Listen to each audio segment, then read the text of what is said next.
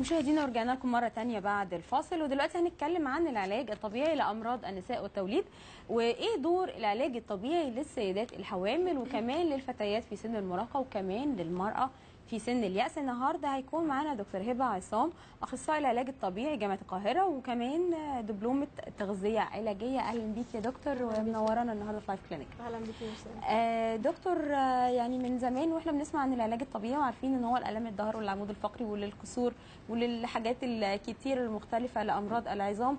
آه أول مرة نسمع عن العلاج الطبيعي للنساء والحوامل. فعلا هو المعروف للعلاج الطبيعي إن هو بيتعلق بالكسور أو التأهيل حتى بعد الأعصاب أو اللي عندهم شلل أو ما إلى ذلك. بس فعلا هو ده مجال جديد في مصر. بس هو شغال طبعا كتير جدا بره في الدول المتقدمة زي أمريكا واوروبا وفعلا هناك الوعي عند السيدات من من مرحلة البلوغ أو من مرحلة الحمل والولادة.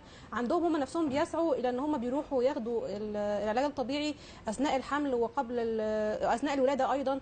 وبعد بعد الولادة فيعني هنا المشكلة في مصر هي نقص الوعي بالنسبة للعلاج الطبيعي ودوره في أمراض النساء والولاده. امم بنشوف دلوقتي في كثير من المستشفيات بعد الولادة إن الخدمة دي موجودة للأم بعد الولادة لكن ما نعرفش بقى إن هي كمان ممكن تبقى موجودة من أول الحمل.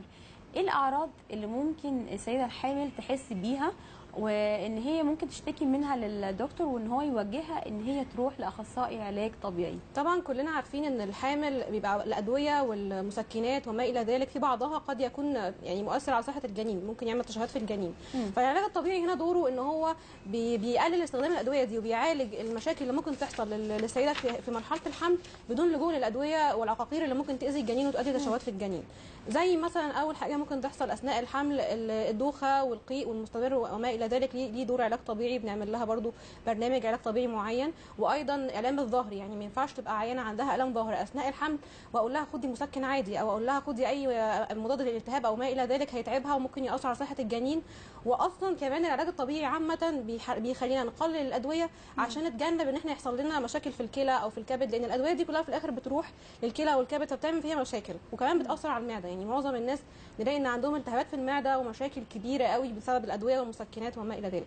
فهنا بنيجي مثلا إحنا لو لو السيدة الحامل عندها مشكلة أثناء الحمل في الظهر مثلا بنعمل لها كذا كذا طريقة وسائل علاج طبيعي تقلل لها الألم بدل ما ناخد الأدوية. زي مثلا ممكن أبسط حاجة اللي إحنا بنعملها كلنا اللي هي الكمادات الحرارية الدافئة بس الدافئة. الكمادات الحرارية الدافئة دي ما تأثرش على الحمل؟ لا خالص دي حاجة بتأثر على العضلة بتاعة الظهر. زمان نسمع الأم الحامل دي ما تعرضش لأي حاجة دافيه ما تحطيش حاجة لا لا ظهرها مش على مش آه. على البطن مش هنعملها على البطن. تاني حاجة ممكن دلوقتي في عملوا علاج باللواصق الطبية زي شريط كده معين بنحطه لاصق على الظهر بيشيل الحمل شوية من على العضلات عشان بتبقى مرهقة في المرحلة دي. م. ده مثال لأول مشكلة بتحصل هي وجع الظهر برده في هل ده بينفع في كل شهور الحمل؟ إحنا بنحاول ان إحنا اول ثلاث شهور في الحمل ما بنعملش اي اي حاجة علاج طبيعي حتى عشان بس نحافظ على الجنين مع ان برضو بره بيحصل الكلام ده بس إحنا برضو بنحاول هنا في مصر ان إحنا عارفين معظم السيدات وثقافتهم تبقى تقول خايفة. إن أول ثلاث شهور آه خايفة ممكن لو يحصل لها إجهاض تقول لا السبب هو كان العلاج الطبيعي مثلا فاحنا هنا بنتجنب أول ثلاث شهور إن إحنا نديها أي برنامج علاج طبيعي مم. وبعدين هنبدأ بقى معاها من بعد ثلاث شهور في عندنا بنقسمها trimesters يعني trimester first and second and third هو الأول والثاني. والثالث إحنا بيبقى شغلنا في الثاني والثالث آه بنديها نصائح. بيبقى في بره حاجة اسمها ال Lamaze classes بناخد classes بن بيتعلموا فيها السيدات أثناء الحمل أثناء الحمل إيه المشاكل اللي ممكن يحصلها ويتجنبوها إزاي؟ وكمان أثناء الولادة. يعني بنديها نصايح هتعملها أثناء الولادة تنظيم التنفس. آه إزاي ممكن تقلل الألم أثناء الولادة؟ يعني دلوقتي في ممكن كمان ما تبقاش عارفة إيه اللي ممكن يحصل لها أثناء الولادة لو هي حامل لأول بنديها مره الوعي. بنديها الوعي. م- م. بنديها الوعي اللي هو بيحصل لها أثناء الح... يعني تعرف مراحل الولادة إزاي عشان ما تبقاش خايفة لأن الأم لما تيجي- أول مرة تتعرض. للحمل أو حاجة زي كده تبقى عندها خوف وممكن يحصل لها اكتئاب أو ممكن يحصل لها اي أي مشكلة كمان نفسية فمن دور برضه العلاج الطبيعي إن إحنا بن- بنطمن الأمهات دي أو اللي هي اللي تبقى إن شاء الله أم مستقبلية ونقعد نديها classes المفروض الكلام ده برضه بيحصل في الدول المتقدمة مش بيحصل للأسف في مصر إن إحنا بيبقى في classes أثناء الحمل بناخد زي group therapy الستات بتيجي وبنديها class بنوعيها بكل حاجة. المفروض الأزواج يحضروا كمان. آه في بعض زي ما بيحصل بره برضه. بالظبط. وممكن ازواج يحضروا أثناء الولادة وكمان دكتور العلاج الطبيعي بيحصل بيح- بيحضر أثناء الولادة. مم. لأن أثناء الولادة بيحصل إن الألم طبعا بيبقى شديد جدا عند الأم خاصة لو ولادة طبيعية. بنحط جهاز معين بيقلل الألم أثناء الولادة. فده طبعا يعني حتى الناس ما عندهاش أي معرفة عنه بس هيفيد جدا الأمهات. واتعمل عليه هنا دراسات في مصر كتير وفادهم كتير قوي إن هو قلل لهم الألم اللي ممكن بيتعرضوا له أثناء الولادة. طيب قولي لي هل في أي ممارسات خاطئة ممكن تحصل أثناء جلسة العلاج الطبيعي ممكن تخلي الحمل ما يكملش عند الأم؟ لا هو العلاج الطبيعي آمن جدا. يعني العلاج الطبيعي إحنا حتى من اسمه طبيعي. يعني هو بنستخدم حاجات طبيعية مش هتأثر على ال- الأم ولا الجنين. هل ممكن الأم تعمل حركة ما تروحش لحد متخصص مثلا يعمل لها حاجة مثلا غلط آه، ممكن ان هي تخلي تأثر على فعلا على حملها؟ هو الحركة الغلط مش هتأثر على الحمل بس هي المشكلة لو حصل مثلا مشكلة ألم في الظهر أو حاجة لا لازم ساعتها تلجأ لعلاج طبيعي عشان مش هنعرف ناخد أدوية في هذه المرحلة. فهيبقى ال- ال- الأنسب في هذا الوقت إن إحنا نديها الإرشادات بقى الصح إن هي إزاي تبقى عامة إنها تقعد إزاي صح بال- بالحمل بتاعها إزاي إنها مثلا ممكن آه، بت- بتشيل حاجة إزاي وهي حامل أو مثلا بتقعد على المكتب إزاي وهي تجيب حاجة إزاي من على آه الأرض. ما ينفعش مثلا إنها تتني ظهرها لازم. تتني ركبها يبقى الحركه كلها جاية من الركبه ما تجيش من الظهر خالص. وعموما بالنسبة لأي وقت بالظبط. مش للحمل بس إن إحنا ما نحملش على الظهر خالص. اللي ممكن نلاقي بقى سمعنا صوت طق click الظهر فرقع. خلاص. حصل disc حصل غضروف انزلاق غضروف. آه. فإحنا لازم طبعا نتع... خاصة دي حامل يعني عندها أصلا في مشكلة. الحمل زيادة. الحمل زيادة والظهر تعبان. okay؟ في برضو حاجة تانية إن عامة في الولاده القيصرية ال- العضلات بتاعت أي عضلات بيحصل فيها قطع قطع جراحي بتفقد حوالي من 50 ل 60% من قوة العضلة الأساسية. مم. فما بالنا إن إحنا الستات المصريات عندنا تقريبا معظمنا تقريبا ثلاث أربع مرات. ضعيفين جدا ضعيفين جدا. لا في ضعف وبتولد كذا مرة بتولد كمان. كذا مرة. يعني اوريدي أول ما بنعمل أي قطع العضلة بتفقد 50 60% من قوتها. نقول مثلا هي كانت الأول أصلا 60% هتبقى 30 تيجي بعد الحمل الثاني هتبقى 30 مفيش عضلة. خالص في في الآخر الآخر. مش هيبقى فيها عضلة. في الآخر هنلاقي العضلات بتاعت الظهر آه، اتدمرت تماما والظهر هو اللي شايل الحمل كله ويحصل لها مشاكل ظهر ده بنشوفها كتير جدا في في العيادات بتاعتنا. كل الحوامل أو بسألها انت ولدتي كام مرة؟ أول حاجة بشوف العيانة بقول لها انت ولدتي كام مرة. بتقولي مثلا انت أقول لها آه يعني ببقى أنا مخمنة إنها عملت ولادة كتير قيصرية حتى طبيعيه والعضلات ضعفت وفي نفس الوقت ما خدتش علاج صح. فحصل إنها حصل لها مشاكل كتير جدا ظهر إيه الحل. بقى؟ الحل إن إحنا أول حاجة زي ما إحنا قلنا في أثناء الولادة بنديهم ال classes دي أو بنوعيهم إزاي يتجنبوا يتجنبوا المشاكل اللي ممكن تحصل لهم في ظهرهم. بالحاجة اسمها ergonomics إحنا قلنا أنا اتكلمت برضو في حلقة عن ال ergonomics اللي هو النصائح اللي بتخلينا نتجنب أي مشكلة تحصل. يعني نتكلم عنها تاني عشان لو في حد ما شافناش إن هو okay. يقدر يعرف. اللي هي مثلا النصائح بتاعه ال- الجلوس الصحيح ما ينفعش أبقى قاعدة مقتبه أو قاعدة ظهري مش مش مظبوط أو قاعدة leaning قاعدة مايلة. دي حاجة مهمة إن إحنا بنحافظ على ظهرنا إن هو ما يجرالوش التقوس. تاني حاجة إن ما ينفعش تشيل الشنطة دايما على جنب واحد ما ينفعش تشيل الشنطة دايما على الجنب اليمين أو على الجنب أو الشمال. ال baby. وال baby آه. على ده شيل الجنب ال baby ده لوحده بيعمل مشاكل تانية بعد الولادة إنها بيجي لها أحيانا غضروف في الرقبة. مم. يعني من من شيل الخاطئ لل baby بتحمل بتبقى شايلاه بطريقة غلط على كتف واحد دايما وبتحمل عليه. أو على الجنب. أو على الجنب. غلط برضه. بالظبط.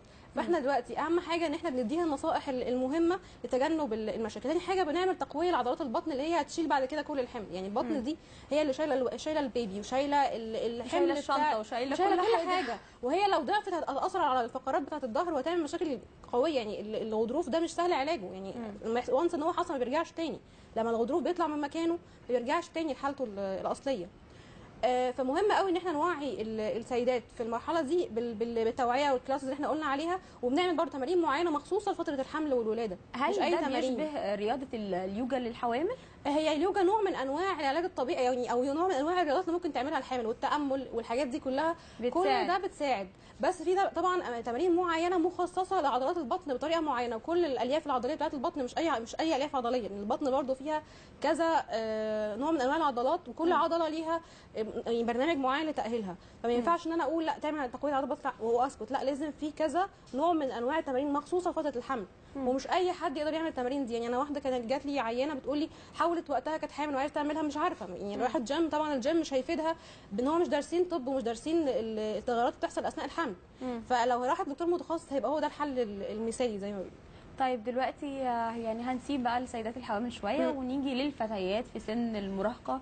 واحتياجهم للعلاج في حتة بس. عايزة أقولها بالنسبة اتفضل. للحوامل بعد الولادة دلوقتي كمان بعد الولادة القيصرية بيحصل إن ال- ال- الجرح بيبقى طبعا مؤلم جدا للسيدات وبيحصل إن هو ألم وممكن يتأخر في الالتئام بتاعه. فبالعلاج الطبيعي برضو عندنا بنستخدم الليزر. آه إن هو بيحاول إن هو بيقلل الألم. الليزر على الجرح؟ آه. بس مش مش حطه على الليزر مباشرة بيبقى بعيد عن عن الجرح. بيقلل الألم وبيقلل الالتهاب اللي بيحصل وبيسرع من التئام الجرح. مم. وبيخلي أي infection أو أي تلوث ممكن يحصل ما بيحصلش. والعلاج الطبيعي بيخلي العضلات بتاعه البطن ترجع مرة ترجع تانية. مرة مم. أحسن من أي حاجة. يعني في ناس تقول لي أنا بشد يعني قلت للدكتور شد لي العضلات أو حاجة زي كده. لأن عضلات البطن مع ال- لو حد شاف الولاده القيصريه بتحصل إزاي؟ الدكتور بيبعد العضلتين عن بعض بقوة شديدة. فلما العضلتين بيبعدوا عن بعض اللي هم عضلات البطن اللي هم اللي بالطول بيحصل ضعف شديد جدا في العضلات دي. فلازم بعدها تعمل برنامج تأهيل متكامل عشان العضلات ترجع تاني زي ما كانت. طب ولو ده ما حصلش بعد الولادة على طول ممكن يحصل بعدين؟ لو اتأخرنا شوية. لو اتأخرنا شوية إحنا بنحاول ننقذ ما يمكن إنقاذه يعني زي ما بيقولوا. يعني أحسن ما تعملش خالص. يعني حتى هي لو ولدت مثلا من سنة أو سنتين وعندها ضعف في العضلات بنعمل برضو هذا ال- يعني وبتقوى الجلسة. بنسبه كام في المية؟ آه، كام في المية؟ إيه؟ العضلة؟ بتقوى بترجع؟ تاني تقوى بقوتها يعني بنقارب بنقارب يعني بعد ما بيحصل طبعا القطع الق- القيصري ده بنحاول نقارب للقوه الطبيعية. ولو كان أكتر من مرة برضو نقدر نرجع للقوة إحنا نرجع. يعني الطبيعية. لو بعد كل ولاده عملنا علاج طبيعي مكثف أو علاج طبيعي سليم بعد كل ولو ما عملناش بعد كل ولادة لا، هنلاقي في الآخر بعد جداً. 3 4 5 ولادات. وعملنا علاج طبيعي. بنرجع بنسبة كام في المية؟ لو بعد ثلاث ولادات مثلا وما عملناش حاجة خالص مثلا. لا هنبدأ نرجع مثلا بس مش مش مش مش 100% ممكن مثلا 60 70% بس أحسن مش من مفيش برضه. أحسن من ما فيش. بالظبط أنا عندي مبدأ اللي هو ننقذ ما يمكن إنقاذه. طيب قولي لي ممكن ندخل بقى على سن المراهقة دلوقتي؟ أوكي. طيب ندخل على سن المراهقة وقبل الحلقة قلتي لي إن كتير من البنات بتبقى مهملة في فكرة العلاج الطبيعي في سن المراهقة وده بيأهلها لبعدين بيخلي جسمها مستعد للحمل وللزواج وللمسؤوليات الكبيرة اللي بتبقى عليها في وقت بعد ذلك يعني.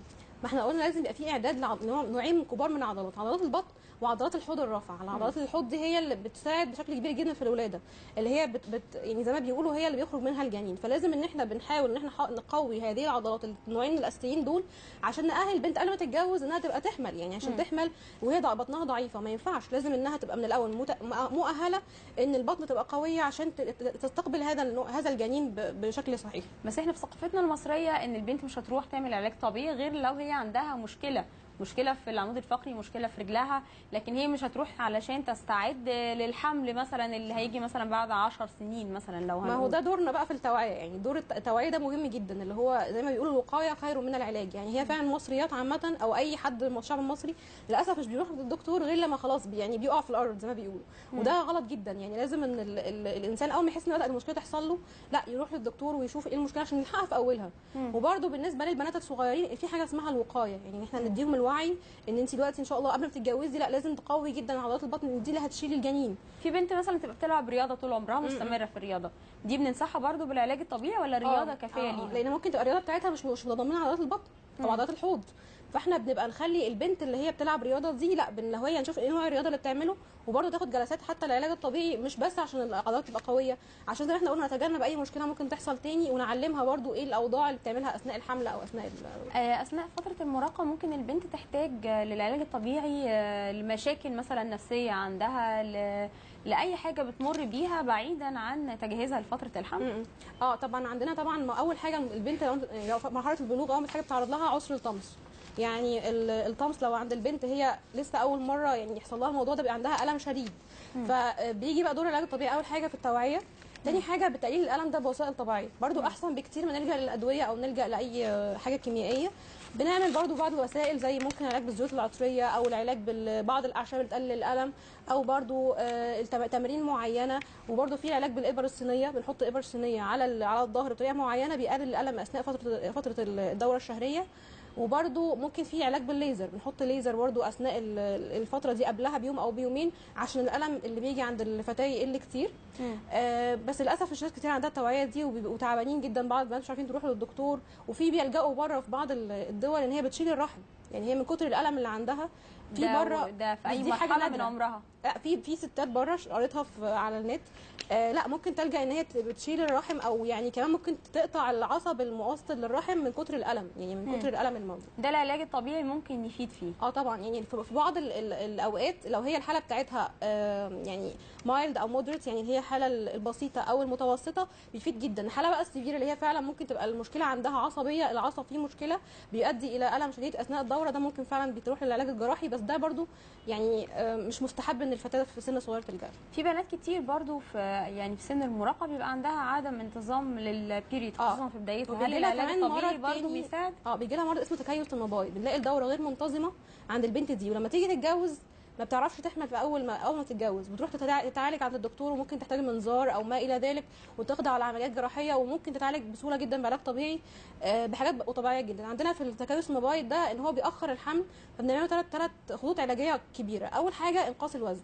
يعني الفتاة لو هي أنقصت وزنها هتقدر تحمل بسهولة. ممكن يبقى مشكلة زيادة الوزن مأثره على الهرمونات لأن ال- الخلايا الدهنية بتفرز آه، بتفرز زي هرمونات يعني حاجات بتزود هرمونات معينة بتأثر على الحمل.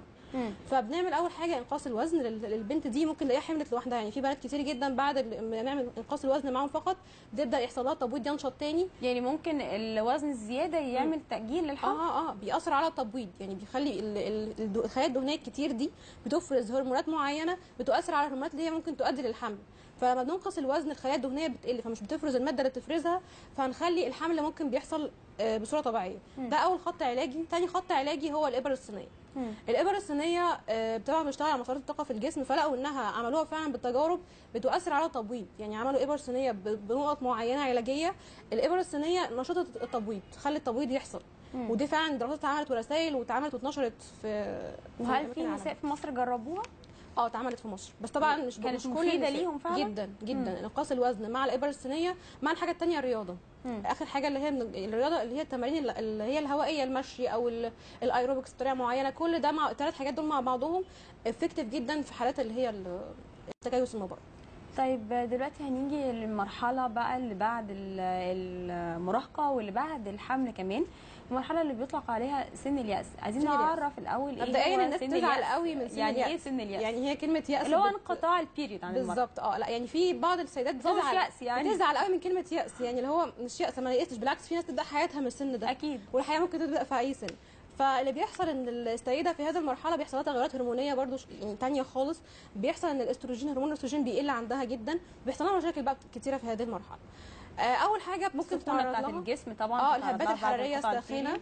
وعندها برضو هنلاقي هشاشه العظام بدأت تتكون وممكن تتكسر بسهوله إحنا بنسمع كتير حتى يعني مثلا يقول لك مثلا واحدة مامتها أو جدتها أو حد وقعت اتكعبلت في سجاده في البيت واتكسرت.